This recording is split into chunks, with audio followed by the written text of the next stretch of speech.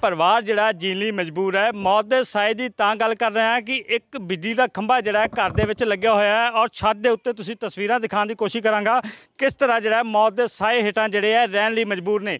ਇਹ ਪਰਿਵਾਰ ਹੈ ਜਿਹੜਾ ਕਿ ਇਹ ਫਿਰੋਜ਼ਪੁਰ ਦੇ ਬਸਤੀ ਭਟਿਆਂਵਾਲੀ ਦੇ ਵਿੱਚ ਇੱਕ ਘਰ ਹੈ।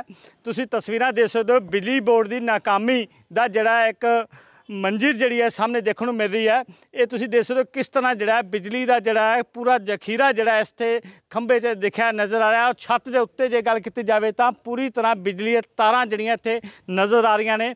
ਔਰ ਲੋਕ ਜਿਹੜੇ ਨੇ, ਜਿਹੜੇ ਇਸ ਘਰ ਦੇ ਵਿੱਚ ਰਹਿਣ ਵਾਲੇ ਨੇ, ਉਹ ਲਗਾਤਾਰ ਜਿਹੜੇ ਹੈ ਉਸ ਤੇ ਡਰ ਦੇ ਸਾਏ ਥੱਲੇ ਆ, ਕਿਤੇ ਕਰੰਟ ਲੱਗ ਜਾਏ। ਔਰ ਦੂਜੇ ਪਾਸੇ ਤਸਵੀਰ ਤੁਸੀਂ ਦੇਖ ਸਕਦੇ ਹੋ ਕਿਸ ਤਰ੍ਹਾਂ ਜਿਹੜੀ ਹੈ ਤਾਰਾਂ ਕੰਧ ਦੇ ਵਿੱਚੋਂ ਜਿਹੜੀ ਹੈ, ਕਮਰੇ ਦੇ ਵਿੱਚੋਂ ਨਿਕਲ ਕੇ ਜਿਹੜੀ ਹੈ, ਦੂਜੇ ਪਾਸੇ ਜਾ ਰਹੀ ਹੈ। ਤੁਹਾਨੂੰ ਪੂਰੀ ਤਸਵੀਰਾਂ ਦਿਖਾਉਣ ਦੀ ਕੋਸ਼ਿਸ਼ ਕਰਾਂਗੇ। ਬਿਜਲੀ ਵਿਭਾਗ ਦੀ ਵੱਡੀ ਨਾਕਾਮੀ, ਜਿੱਥੇ ਪੰਜਾਬ ਦੀ ਆਮ ਆਦਮੀ ਪਾਰਟੀ ਸਰਕਾਰ ਹੈ ਉਹ ਲੋਕਾਂ ਨੂੰ ਵਧੀਆ ਜਿਹੜੀਆਂ ਸ- ਸੇਵਾਵਾਂ ਦੇਣ ਦੀ ਗੱਲ ਕਰ ਰਹੀ ਹੈ। ਇਹ ਤੁਸੀਂ ਦੇਸ ਦੂਰ ਤੱਕ ਮੈਂ ਕੈਮਰਾਮੈਨ ਕੋ ਪੂਰੀ ਤ- ਦਿਖਾਣਗੇ ਕਿਸ ਤਰ੍ਹਾਂ ਜਿਹੜੇ ਬਿਜਲੀ ਦੀ ਤਾਰ ਜਿਹੜੀ ਹੈ ਘਰਾਂ ਦੇ ਕੋਠਿਆਂ ਦੇ ਉੱਪਰ ਹੁੰਦੀ ਜਾ ਰਹੀ ਹੈ। ਜਦੋਂ ਬਾਰਿਸ਼ ਹੁੰਦੀ ਹੈ ਜਾਂ ਕੋਈ ਐਸੀ ਹੁੰਦੀ ਹੈ ਤਾਂ ਇੱਥੇ ਜਿਹੜੇ ਚਿੰਗਾਲੇ ਨਿਕਲਦੇ ਨੇ, ਜਿਹੜੇ ਇੱਥੋਂ ਦੇ ਬੱਚੇ ਨੇ, ਉਹ ਵੀ ਜਿਹੜਾ ਖੇਡਣ ਤੋਂ ਜਿਹੜਾ ਹੈ ਡਰਦੇ ਨੇ। ਕਿਉਂਕਿ ਬਿਜਲੀ ਦੇ ਖੰਭੇ ਘਰ ਦੇ ਵਿੱਚ ਹੋਣਾ ਕਿੱਥੇ ਨਾ ਕਿਤੇ ਜਿਹੜਾ ਪ੍ਰਸ਼ਾਸਨ ਤੇ ਇੱਕ ਸਵਾਲੀਆ ਨਿਸ਼ਾਨ ਜਿਹੜਾ ਹੈ ਖੜਾ ਕਰਦਾ ਨਜ਼ਰ ਆ ਰਿਹਾ ਦੇਖ ਸਕਦੇ ਹੋ ਤੁਸੀਂ ਪਰਿਵਾਰ ਜਿਹੜਾ 'ਤੇ ਬੈਠਾ ਹੋਇਆ ਲਗਾਤਾਰ ਇਹਨਾਂ ਵੱਲੋਂ ਜਿਹੜੀ ਹੈ ਕਿ ਬਿਜਲੀ ਵਿਭਾਗ ਤੋਂ ਗੁਹਾਰ ਵੀ ਲਗਾਈ ਗਈ ਹੈ। ਲੇਕਿਨ ਬਿਜਲੀ ਵਿਭਾਗ ਵੱਲੋਂ ਕਿਸੇ ਤਰ੍ਹਾਂ ਦੀ ਵੀ ਕੋਈ ਸੁਣਵਾਈ ਨਹੀਂ ਕੀਤੀ ਗਈ ਹੈ। ਗੱਲਬਾਤ ਕਰਦੇ ਹਾਂ। ਭਾਜੀ, ਇਹ ਬਿਜਲੀ ਖੰਭਾ ਕਿੰਨੇ ਸਮੇਂ ਤੋਂ ਇੱਥੇ ਲੱਗਿਆ ਹੋਇਆ ਹੈ? ਇਹ ਭਾਈ ਸਾਡੇ ਜੰਮਣ ਤੋਂ ਪਹਿਲਾਂ ਹੀ ਲੱਗਾ ਹੋਇਆ ਹੈ। ਬਹੁਤ ਟਾਈਮ ਹੋ ਗਿਆ ਇਹਨੂੰ। ਅਸੀਂ ਤਾਂ ਬਿਜਲੀ ਬੋਰਡ ਨੂੰ ਪੈਲੀਆਂ ਸੀ। ਅਸੀਂ ਤਾਂ ਕਿਹਾ ਵੀ ਉਹਨਾਂ ਨੂੰ ਵੀ ਵੀ ਇਹਨਾਂ ਨੂੰ ਪਟਾਓ ਤੋਂ ਕਹਿੰਦੇ 12 13000 ਰੁਪਇਆ ਦੋ ਤੇ ਫੇਰ ਕੱਢਾਂਗੇ ਬਾਹਰ। ਅਸੀਂ ਤਾਂ ਬਹੁਤ ਜ਼ਿਆਦਾ ਪਰੇਸ਼ਾਨ ਆ। ਨਾ ਉੱਤੇ ਬਹਿ ਸਕਨੇ ਨਾ ਹੀ ਖਲੋ ਸਕਨੇ ਮੀਂਹ ਕਣੀ ਆਂਦਾ ਚਿੰਗਾੜੇ ਆਂਦੇ ਜਵਾਕਾਂ ਨੂੰ ਉੱਤੇ ਚੜਾਉਣ ਤੋਂ ਹੀ ਡਰੀਦਾ ਹੈ। ਕੰਪਲੇਂਟ ਵੀ ਤੁਸੀਂ ਕਰ ਚੁੱਕੇ ਹੋ। ਫਿਰ ਵੀ ਉਹ ਅੱਖ ਨਹੀਂ ਲੱਗ ਰਿਹਾ ਪੈਸੇ ਦੀ ਮੰਗ ਕਰ ਰਹੇ ਹਾਂਜੀ ਕਨਵੇਟਾ ਬਹੁਤ ਪਾਈਆਂ। ਉਹ ਕਹਿੰਦੇ ਕਿ 12 13000 ਰੁਪਇਆ ਲੱਗੇਗਾ ਤੇ ਕੱਢ ਦਾਂਗੇ ਬਾਹਰ। ਖਰਚਾ ਦੋ ਸਾਨੂੰ। ਤੇ ਗਰੀਬ ਘਰ ਆ, ਅਸੀਂ ਕਿੱਥੋਂ ਦਈਏ? ਬਿਲਕੁਲ ਤੁਸੀਂ ਦੇਖੋ ਗਰੀਬ ਪਰਿਵਾਰ ਹੈ ਤਾਂ ਹਾਲਾਤ ਇਸ ਤਰ੍ਹਾਂ ਦੇ ਬਣੇ ਹੋਏ ਨੇ ਕਿ ਵਿਧੀ ਵਿਭਾਗ ਨੂੰ ਜੇ ਅਗਰ ਗੱਲ ਕੀਤੀ ਜਾਂਦੀ ਹੈ ਇਸ ਖੰਭੇ ਨੂੰ ਇੱਥੋਂ ਹਟਾਉਣ ਦੀ, ਤਾਂ ਉਹ ਦੱਸਿਆ ਜਾ ਰਿਹਾ ਹੈ ਕਿ ਪੈਸੇ ਦੀ ਮੰਗ ਕੀਤੀ ਜਾ ਰਹੀ ਹੈ। ਇਹ ਖੰਭਾ ਜਿਹੜਾ ਹੈ ਕਿ ਘਰ ਦੇ ਵਿੱਚ ਲੱਗਿਆ ਅਸੀਂ ਇਸ ਵਕਤ ਛੱਤ ਦੇ ਉੱਤੇ ਖੜੇ ਹਾਂ। ਇਹ ਬਿਜਲੀ ਦਾ ਜਿਹੜਾ ਇੱਕ ਜਾਲ ਜਿਹੜਾ ਵਿਛਿਆ ਹੋਇਆ ਤੁਸੀਂ ਦੇਖ ਸਕਦੇ ਹੋ। ਇਸ ਵਿੱਚ ਪ- ਜਿਹੜੀ ਹੈ ਕਿ ਜਿਹੜੀ ਵੋਲਟ ਹੈ, ਜਿਹੜੀ ਹੈ, ਕਰੀਬ ਜੇ ਗੱਲ ਕੀਤੀ ਜਾਵੇ 420 ਵੋਲਟ ਜਾਂ 11000 ਵੋਲਟ ਦੇ ਕਰੀਬ ਜਿਹੜੀ ਹੈ, ਇਹ ਜੇ ਇੱਥੇ ਲਾਈਟ ਆ ਰਹੀ ਹੈ, ਤਾਂ ਕਦੇ ਵੀ ਜਿਹੜਾ ਵੱਡਾ ਹਾਸਾ ਹੋ ਸਕਦਾ ਬੱਚੇ ਜਿਹੜੇ ਇਸ ਵਿੱਚ ਲੱਗ ਕੇ ਜਿਹੜੀ ਹੈ ਮੌਤ ਦੇ ਮੂੰਹ 'ਚ ਵੀ ਜਾ ਸਕਦੇ ਨੇ। ਅਸੀਂ ਬੱਚੀ ਹੈ ਗੱਲਬਾਤ ਪਹਿਲਾਂ ਉਹਨਾਂ ਪਰਿਵਾਰ ਦੇ ਨਾਲ ਹੋਰ ਵੀ ਗੱਲਬਾਤ ਕਰਾਂਗੇ। ਜਿਹੜੀਆਂ ਮਹਿਲਾਵਾਂ ਲਗਾਤਾਰ ਜਿਹੜੀਆਂ ਘਰ ਰਹਿੰਦੀਆਂ ਨੇ, ਤਾਂ ਉਹਨਾਂ ਦੇ ਮਨ ਵਿੱਚ ਕੀ ਆਂਦਾ ਮ- ਇਹ ਜਿਹੜੀ ਤਾਰ ਜਿਹੜੀ ਇੱਥੇ ਲੱਗੀ ਹੋਈ ਹੈ, ਤੇ ਕਿ- ਕਿਵੇਂ ਡਰ ਨਹੀਂ ਲੱਗ ਰਿਹਾ? ਬਹੁਤ ਜ਼ਿਆਦਾ, ਮੈਂ ਇੱਕ ਦਿਨ ਮੀਂਹ ਆਈ ਇੱਥੇ ਸਾਡੇ ਪਾਣੀ ਰੁਕ ਜਾਂਦਾ, ਮੈਂ ਕੱਢਣ ਲੱਗੀ, ਉੱਤੋਂ ਚੰਗਿਆੜੇ ਪੈ ਗਏ, ਮੇਰੀ ਸਾਰੀ ਟੀ-ਸ਼ਰਟ ਸੜ ਗਈ, ਤੇ ਨਾ ਭੱਜ ਤੇ ਖਿੱਚਿਆ ਮੈਨੂੰ।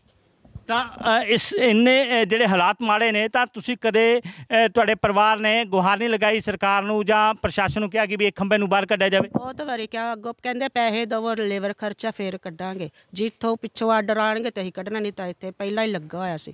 ਅਸੀਂ ਨਹੀਂ ਕੱਢ ਸਕਦੇ।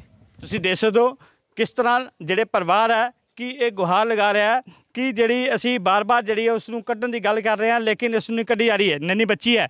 ਬੇਟਾ ਕਿਵੇਂ ਇੱਥੇ ਖੇਡਣ ਖੇਡਣ ਤੇ ਡਰ ਲੱਗ ਰਿਹਾ ਕਿਵੇਂ? ਲੱਗਦਾ ਹੈ। ਕਿਉਂ ਡਰ ਲੱਗ ਰਿਹਾ ਬੱਤੀ। ਬੱਤੀ ਤੋਂ। ਤਾਂ ਕੀ ਇਹ ਬੱਤੀ ਕਿਵੇਂ ਘਰ ਦੇ ਛੱਤ ਦੇ ਉੱਤੇ ਲੱਗੀ ਹੋਈ ਹੈ? ਹਾਂਜੀ। ਹਾਂਜੀ।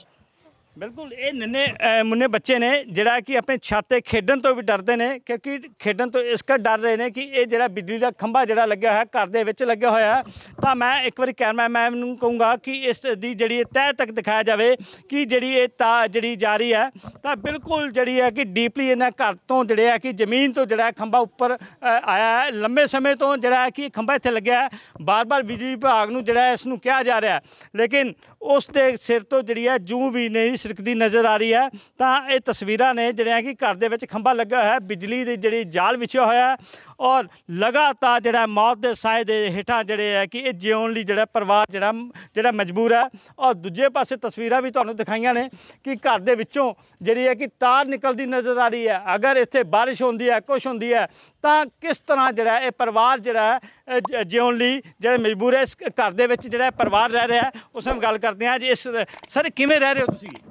ਹਾਂਜੀ ਮੈਂ ਤਾਂ ਪਾਸੋਂ ਦਾ ਪਾਸੇ ਤੋਂ ਤਾਂ ਪਰ ਇਹ ਤਾਰ ਜਿਹੜੀ ਤੁਹਾਡੇ ਘਰ ਦੇ ਵਿੱਚੋਂ ਹੀ ਨਿਕਲ ਰਹੀ ਹੈ? ਹਾਂਜੀ। ਘਰ ਦੇ ਵਿੱਚੋਂ ਨਿਕਲ ਹੈ ਹਾਂਜੀ। ਤਾਂ ਡਰ ਨਹੀਂ ਲੱਗ ਰਿਹਾ? ਡਰ ਤਾਂ ਲੱਗਦਾ ਹੈ।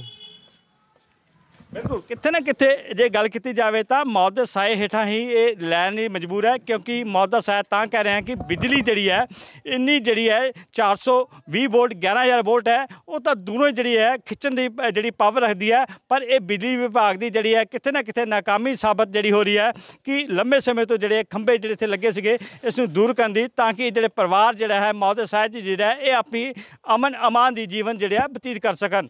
ਫਿਰੋਜ਼ਪੁਰ ਤੋਂ camera person Jagdish Kumar ji fact news